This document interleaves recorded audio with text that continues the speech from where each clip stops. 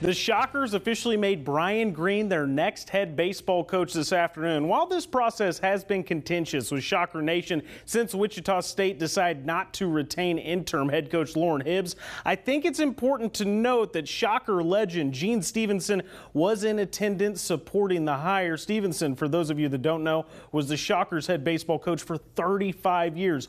Also in attendance was WSU baseball great Mike Pelfrey. Pelfrey was the pitching coach on the last staff, which makes his appearance at this pretty interesting as well. And speaking of staff, here's new head coach Brian Green on hiring his assistant coaches and recruiting the players currently in the transfer portal.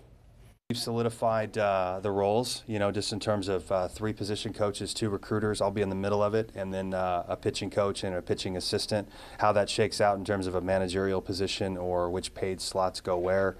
Um, like I said, I interviewed the staff here, uh, first class pro uh, was very impressed and have a few more interviews and, and people to talk to. And uh, but I know that we need to make a decision for our players. Uh, so we can put really everything in front of them and say, look, this is it. What do you want to do? And uh, and then that'll give me an opportunity to get my RV and the ones that are on the bubble, I'll just go see them, meet with them. I'll plop that thing open, and hopefully we can sell them and get them back here.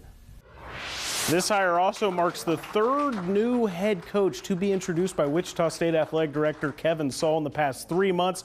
Earlier this spring, Saal also hired new men's and women's basketball coaches in Paul Mills and Terry Nooner. Saal says all three were the product of extensive nationwide coaching searches and that all three are taking over unique situations.